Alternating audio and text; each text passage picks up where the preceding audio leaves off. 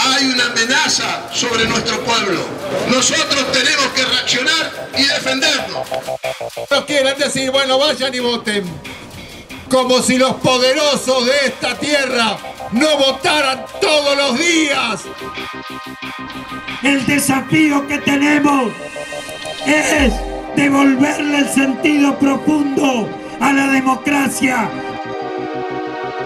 Ahora vienen a decirnos que incluso el proceso va a ser de uberización del trabajo. Cuando nos hablan de futuro del trabajo, trabajo del futuro, la traducción de lo que nos dicen es trabajo sin derechos. Para generar mayores niveles de precarización, eso quieren hacer con todo nuestro trabajo. Hoy las organizaciones sociales exigimos a este gobierno que declare la ley de la emergencia alimentaria. Con un incremento en factura de gas, de agua, de transporte o de electricidad de hasta el 2000%, no se aguanta más.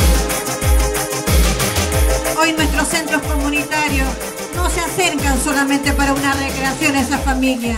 Lamentablemente hoy se han volcado para retirar un plato de comida o una taza de leche. Hay que redefinir el sistema energético porque hoy las empresas transnacionales se han apropiado de un bien fundamental de nuestra patria.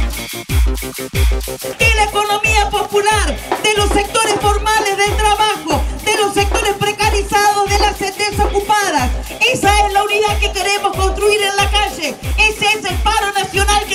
construir